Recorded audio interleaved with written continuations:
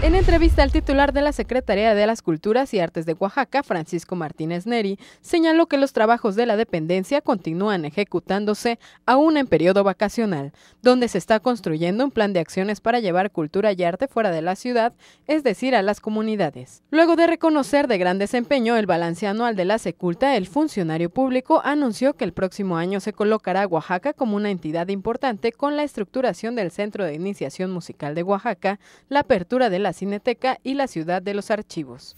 Lo más importante eh, eh, sea hablar en prospectiva acerca de lo que vamos a hacer el próximo año y sobre eso estamos ya trabajando, sobre un plan en el que pretendemos llegar a, las comunidades, pretendemos que la cultura sea objeto y sobre todo el arte sea objeto de, de exposición, de manejo, de interacción, de impulso en, en todo Oaxaca.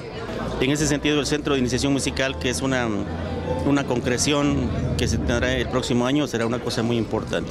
La Cineteca, hay, cada vez hay más público para, para el cine. Y, me parece que la Cineteca va a jugar un papel importantísimo. La ciudad de los archivos será un espacio también no solamente de esparcimiento, sino de guarda de documentos fundamentales para, para el Estado.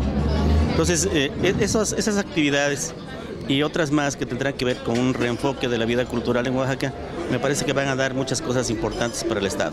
Con imágenes de Armando Guzmán para MVM Televisión, informó Metzli Beltrán.